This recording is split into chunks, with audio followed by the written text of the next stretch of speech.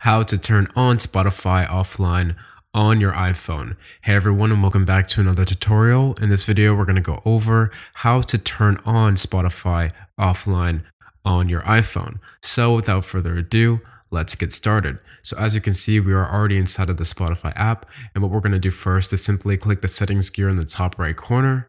And as soon as we've done that, we're going to be brought towards this page right here. Next, you're going to click on playback and as soon as we've done that, we're going to be able to see offline at the top and you can just go ahead and switch this on. And as you can see, it says that when you go offline, you'll only be able to play the music and podcasts you've downloaded. So that's how you could turn on Spotify offline on your iPhone. So if you guys have found this video helpful, please remember to like, share, and subscribe, and I'll catch you guys in the next video. Thanks.